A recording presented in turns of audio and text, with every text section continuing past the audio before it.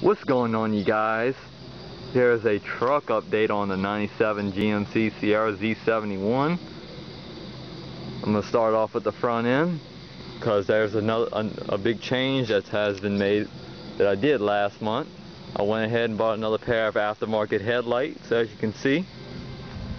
I'm going to put the camera real close so you guys can look at the difference. As, as you see, I don't have a missed pair of, I mean, I'm a mismatched set of headlights on, on this truck anymore. I've changed that out since uh, back in June because I went ahead and bought a uh, another pair of headlights since I've been working extra hours. And eventually, you can tell the headlights match the park lights and the um, side reflectors, known as the, the corner lights. Let's see what else has been changed. Would still need, would still be, actually still need, would this truck still needs cosmetically on the body. It's still in need of a new paint job because the clear coat is like pretty bad on this truck because back then General Motors didn't really do a good job painting these trucks. It's the paint they pretty much used back in the 90s and I want to still get this bed um, rhino lined and once I get this truck repainted I'm going to get it the same color. I'm not doing no color change. It's going to stay white. And I want to get I still want to get these Z71 decals replaced. I want to get the same ones. Trying to keep the truck a little bit of a have it so half of the original look. And I want to get these mirrors get these mirrors painted white instead of having them black just to make it match the um, truck. And as you can tell the um, tell part of it's all faded and you can tell this part was all glossy and this is all faded. If you can see it that well through the camera. I definitely still need to get that roof fixed if you guys could see it before it gets worse and I'm still gonna change out this door handle that's pretty much cracked from back in New Year's. Still opens the door, you can tell it's pretty loose. I'm not a big fan of that. I'm gonna change out both of them. I'm gonna do that sometime in the fall. And I'm gonna get this truck repainted once I um, get my driver's license, my full driver's license. When I, um, I'm pretty much toward the end of practice driving.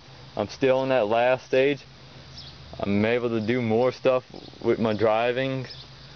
I still, because right now I'm still in that permit.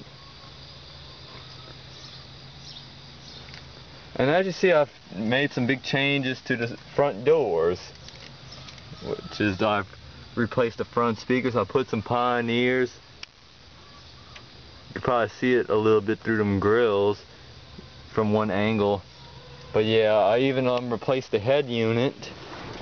Remember I had that Kenwood head unit in there? I officially replaced it with a Pioneer, which has the USB, which is something that I like. And uh, and next month I'm gonna work on changing out those rear speakers.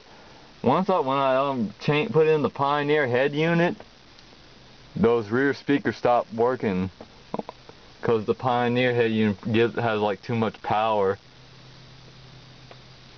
to the to these um rear speak OEM speakers.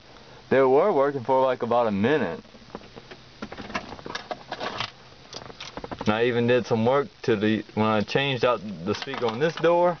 I had to um, make it where it, fix it so it don't mess up my power window because uh for a week. I had um put four screws to mount it in. And I had one screw that I didn't really need so I took it out because it was stopping my um, power window from going up and down. And the good thing is with this Pioneer head unit I got a remote that goes with it which is pretty neat.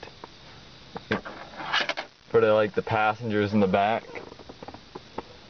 but yeah, I plan on doing a rear speaker removal video guide for this extended cabs at the third door for the um, 96 to 98 Chevy pickups.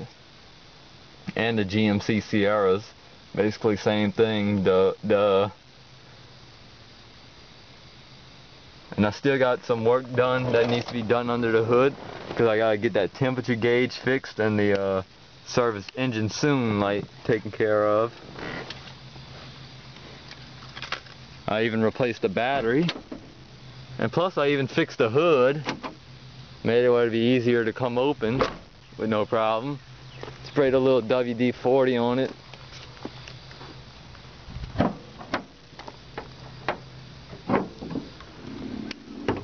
And back in May I've actually replaced my battery.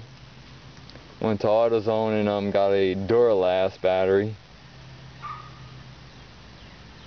and everything still looks clean under the hood. I'm almost near an oil change in this truck. But yeah I probably need to, get those relays taken care of to see why my, my if that could be the problem with the temperature gauge.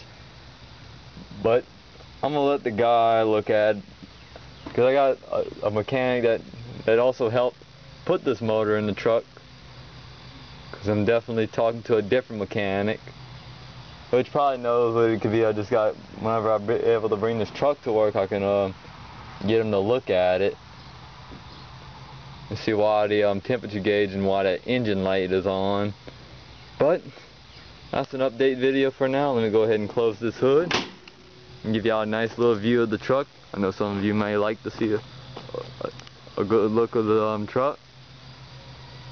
You could tell in a certain distance it looked good, but yeah, that's my update video for now, and hope you guys enjoyed, and thanks for watching.